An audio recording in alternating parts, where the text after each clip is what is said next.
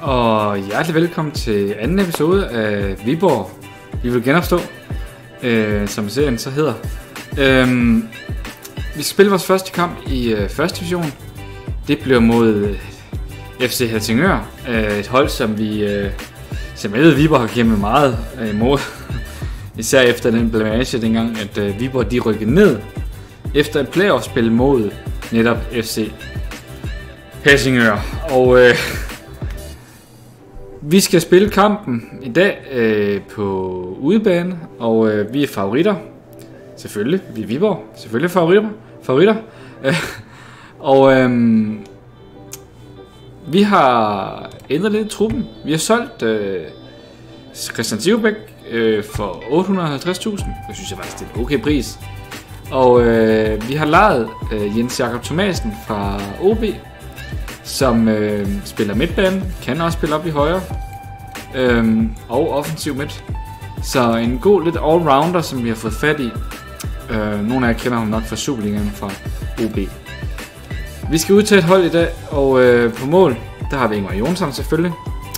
Øh, Alexander Fischer på højre bak, i midten Boxhall og Jakob Den. På venstre bak har vi Mikkel Knudsen. Øh, central midt Emil Sjæl. Og dog, jeg tænker faktisk, at Jacob, Jacob Thomasen har fået lov til at starte inden. Sammen med øh, Jeppe Grønning og Sandfører. En klubmand efterhånden. Øh, Jungby Park på højre kant. Offensiv midt, jamen der stiller vi med... Øh, vi har faktisk sådan rimelig to gode muligheder. Jeg synes, Vestergaard har spillet fornuftigt i opstarten. Det har Jeff sådan set også. Jeg tror... Altså, Jeff har spillet tre kampe og scoret et mål. Øh, jeg tror ikke, Vestergaard har scoret nogle mål.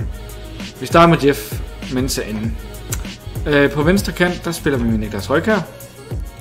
Og helt op foran, der stiller vi selvfølgelig med Mikkel Akker, som er vores bedste angriber. Øh, jeg er ikke kommet af med nogen angriber, men det blev sådan, at øh, Mikkel, nej, Morten Bæk hedder han. Han blev skadet i op til tre måneder, det vil sige, at han er ikke med til den her kamp, og er lige ude af truppen lige pt. Øh, på bænken har vi Nicolai Let, Jakob Bunde, og vi skal også have Emil Sjæl øh, uh, Tjekosen, Mikkel Vestergaard og Andreas Albers. Det bliver bænken til dagens kamp. Resten de får lov til at være med i nogle øh, hvad hedder det, reserveholdskampe, så de kan komme lidt i form. Det er nogle af dem, der halter lidt med formen. Øh, Brandhoff kunne man godt have forsvaret udtaget til kampen. Jeg synes, han er faktisk en rigtig god spiller, de har hentet her øh, for nylig. Øh, synes, jeg synes faktisk, at han, han kunne godt gøre, gøre det rimeligt. Han har også spillet nogle fornuftige venskabskampe. Øh, blev skiftet ind, så...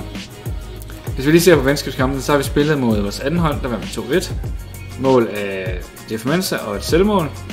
Så har vi spillet mod Jammerbuk, der scorede min sjæl Oliver Tykosen. AB vandt med 3-0 af Jungfrey Park med enkelt mål, Røgkammer 2. BK frem, Emil Sjæl igen. Øh, uh, Jungfrey Park, Christian Moses.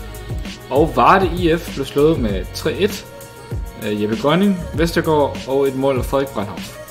Så vi har, det er sådan lidt meget all round, hvem der sådan øh, byder ind med mål i, i den her optakt. Øh, der er blevet trukket lod til pokalturneringen, hvor vi skal møde Kolding IF, der ligger i anden division. Øh, så det skulle være en overkommelig modstander. Vi ser der i kampen mod en øh, Helsingør. Jeg spiller selv mod en Hvidovre, og så kommer vi tilbage til kampen med øh, i afsnit 3 mod Kolding IF. Øh, men velkommen til. Øh, vi begynder lige, jeg begynder lige at gøre klar til kampen mod FC Helsingør. Og så er vi klar til kampen mod FC Helsingør.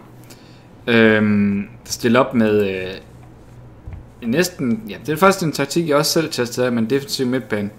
Øh, det tror jeg for dem er godt at spille mod os.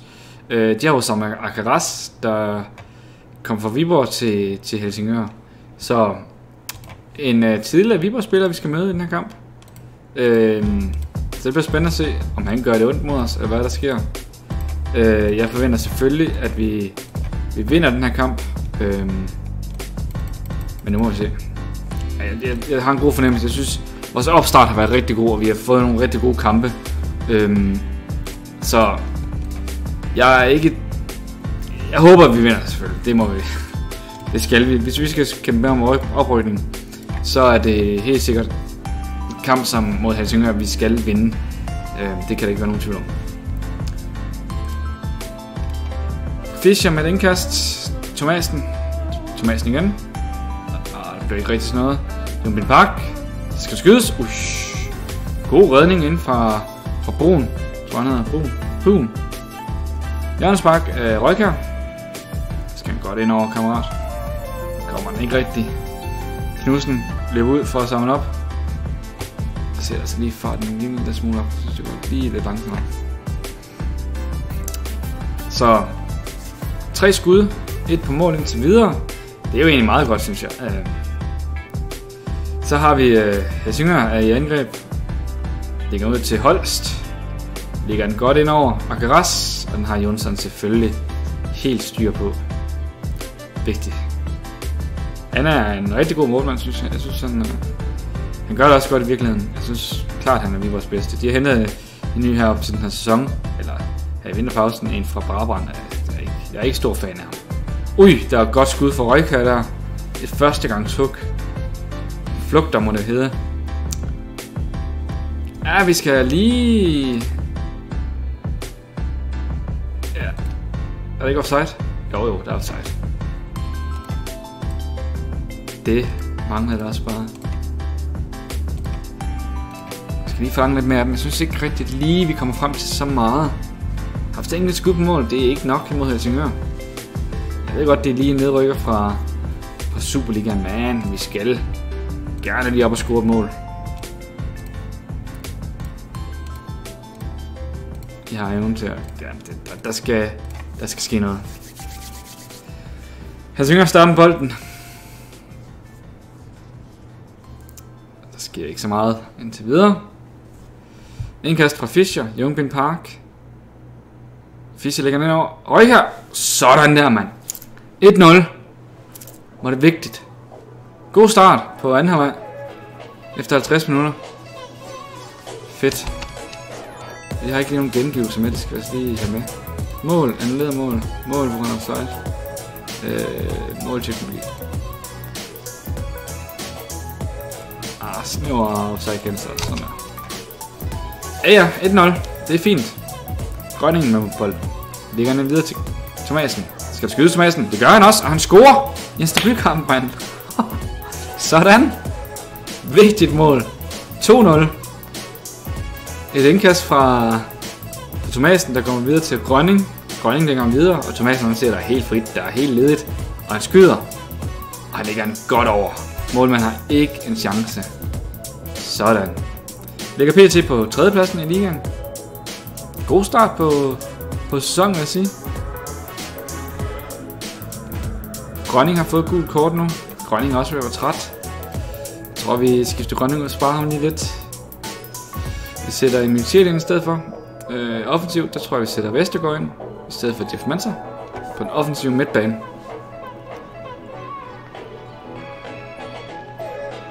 Ej, jeg synes, det ser fornuftigt ud her i anden halvleg. Det, øh, det synes jeg faktisk. 2-0 ude mod Helsingør, det er altså også godt. Viborg har haft mange problemer med at vinde på Sjælland. Øh, I virkeligheden, så, så vi kan gøre det her manager. 2-0, det synes jeg, det er fantastisk. Ja, ja. Det ser ud til en Viborg sejr på 2-0. Så er vi i gang med sæsonen. Et urealistisk øh, Helsingør stadion at sige, hov, vi er stadig i gang. Og det er fint 2-0 til Viborg over Helsingør. En fantastisk god, øh, god kamp fra vores side, vil jeg sige. Og det betyder nu, at vi ligger nummer... Hvad ligger vi egentlig? Vi ligger nummer 3, tror jeg. Nej, nummer 4 er. Det er fint nok. Det er en god start. Fischer ude en to dage.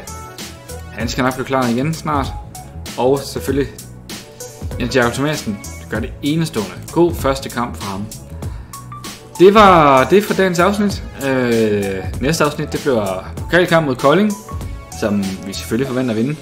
Øh, og skal videre på pokalen. Det er nok ikke lige der, vi skal forvente vinde alle kampe i hvert fald, men øh, det, øh, det lover godt for Viborg FF øh, at få en oprykning øh, allerede nu. Nu skal man ikke skyde Bjørn før det skudt, men øh, Jeg synes faktisk, det er fornuftigt. Tak fordi I så med. Øh, Jeg håber, I kunne lide, hvad I så. Og håber, I holder med Viborg. Øh, ja, kan I have det godt. Hej hej.